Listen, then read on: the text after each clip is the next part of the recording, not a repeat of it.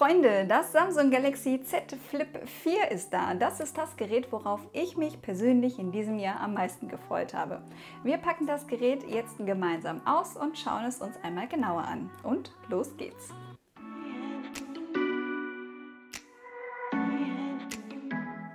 So, und hier haben wir das Galaxy Z Flip 4.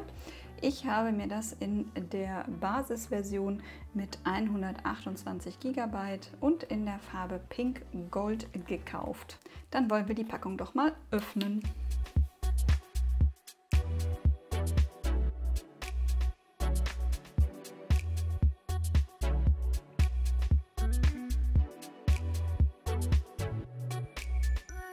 Ah, ich sehe schon, in dem Deckel ist auch der Papierkram mit drin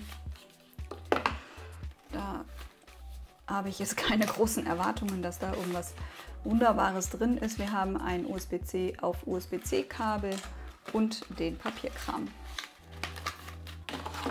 Das ging flott, das kann weg.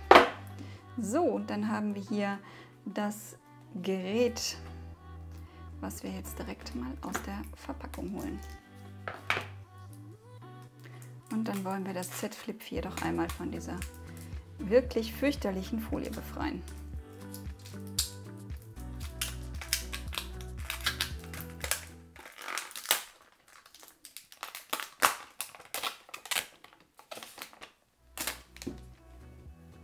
Die Farbe Pink Gold ist wirklich ein sehr dezentes Gold.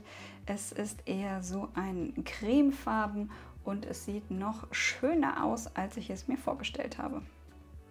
Dann machen wir hier die Sticker noch ab und auch die ganzen Plastikfolien, die da drumherum an dem Rahmen aufgebracht sind.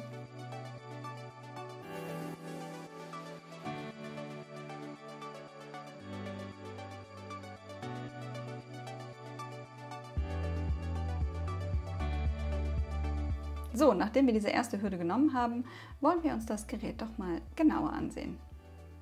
Das Galaxy Z Flip 4 kostet 1099 Euro und ist nochmal 50 Euro teurer geworden als der Vorgänger.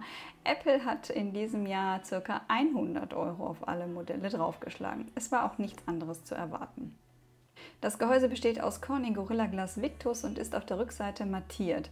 Der Rahmen besteht aus Amor Aluminium und ist jetzt glänzend und nicht mehr matt, was meiner Meinung nach dazu führt, dass das Gerät nochmal hochwertiger aussieht. Das Galaxy Z Flip 4 verfügt über ein 6,7 Zoll 120 Hertz AMOLED Display und etwas kleinere Displayränder als noch der Vorgänger. Alle anderen Maße haben sich im Vergleich zum Galaxy Z Flip 3 nicht verändert.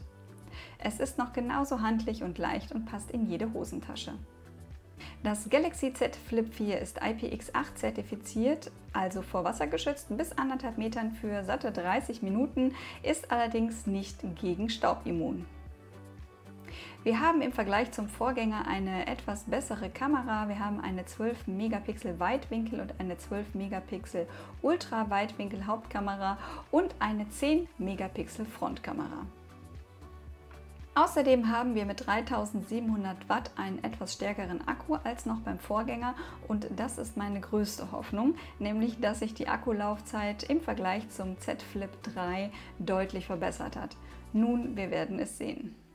Das Galaxy Z Flip 4 kommt mit einem brandneuen Qualcomm Snapdragon 8 Plus Gen 1 Prozessor, der einen Fokus auf einer verbesserten Energieeffizienz hat. Das lässt meine Hoffnungen nochmal weiter steigen, dass sich die Akkulaufzeit verbessern wird. Das Z Flip 4 kann mit 25 Watt schnell geladen werden. Ein Ladeadapter ist natürlich nicht im Lieferumfang enthalten und muss separat gekauft werden.